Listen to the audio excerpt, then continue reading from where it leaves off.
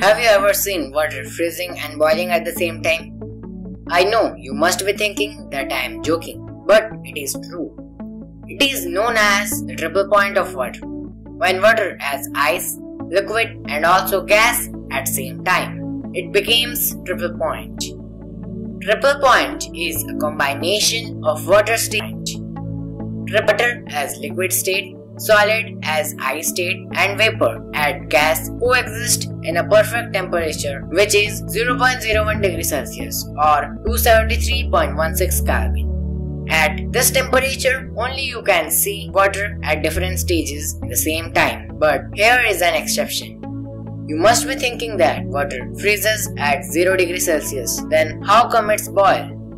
Here the exception comes. The triple point can only exist in vacuum or in space, not that vacuum cleaner, vacuum chamber.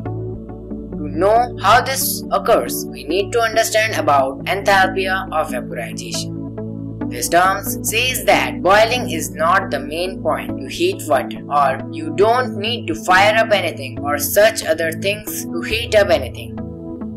There is another way, the atmospheric pressure. The pressure caused by air is called the atmospheric pressure. Atmospheric pressure change with the altitude. The atmospheric pressure can only happen in a vast large area, but we can do it anywhere with just a little brain. Do you know, from your childhood you are studying wrong? Hmm, not kind of wrong, but missing. You are studying that water boils at 100 degrees Celsius.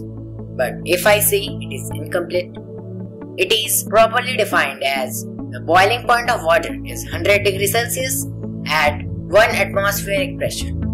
Now, what does this 1 atmospheric pressure means? It is not necessary that water boils at 100 degrees Celsius.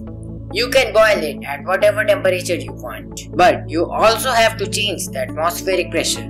Like water can boil at 80 degrees Celsius at 6.9 atmospheric pressure.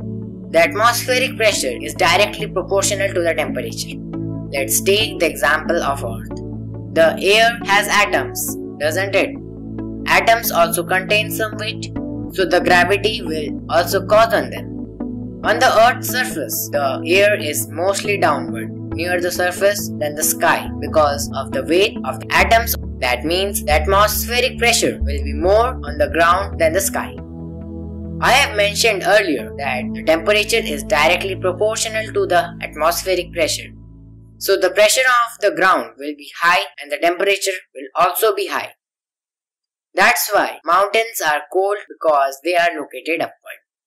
Do you know that water in mountains can boil at 70 degrees Celsius?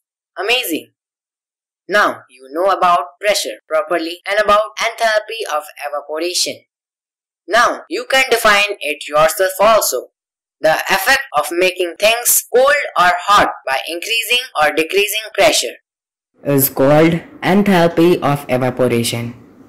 Now back to our topic. As we know, in space or vacuum, there is very less or about no pressure. So if we put water in space or vacuum, it will start boiling.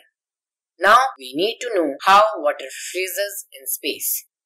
There are two factors on which the water boils. Listen it carefully. Factor number 1.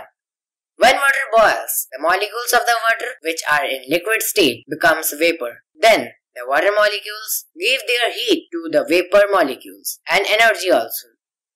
After some times, by continuing the process, all the heat are gone with energy and as vacuum sucks very quickly, so this process is done very fast it will become ice.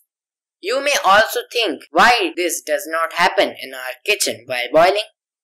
It's because while boiling, heat is also released as the heat molecules give their energy to the surroundings. And to make it equivalent, the surroundings also give their cold air to the boiling water and it keeps on boiling. Well, if there is no pressure or very less pressure, then the substance will go directly straight from solid to gas. Now, second factors. When the vapor are going from water to the vacuum, air also goes with it.